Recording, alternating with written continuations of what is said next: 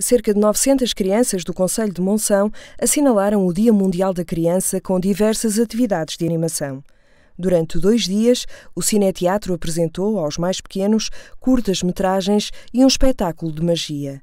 O evento, que comemorou também o Dia Mundial do Ambiente, teve um caráter sobretudo pedagógico.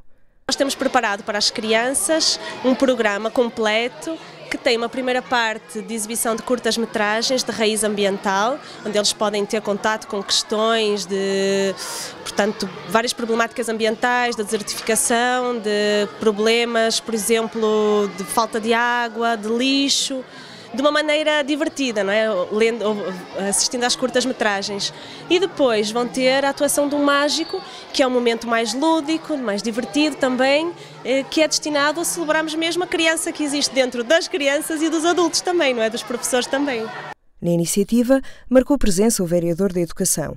Augusto Domingues sublinhou a importância destas ações ministradas fora da sala de aula. Agora as crianças têm outras possibilidades, saem constantemente da sala de aula, não só com visitas organizadas por seus professores e pela sua escola, mas também com o complemento que nós fazemos nas nossas valências culturais, através da Biblioteca Municipal, através do Arquivo Municipal, através do Centro Interpretativo de Longos Vales e agora a cereja sobre o bolo que é o Cine Teatro. Esta valência vai nos permitir fazer essa correspondência com o mundo estudantil, tentando criar situações diferentes para lhe dar maior dimensão ao seu ensino-aprendizagem.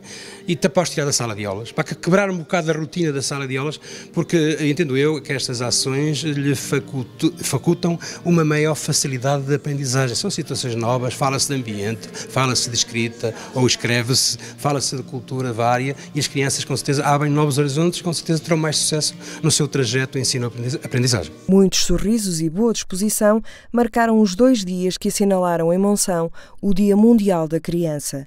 A iniciativa foi promovida pela Associação Portuguesa de Educação Ambiental com o apoio da Comissão Local de Proteção de Crianças e Jovens em Risco.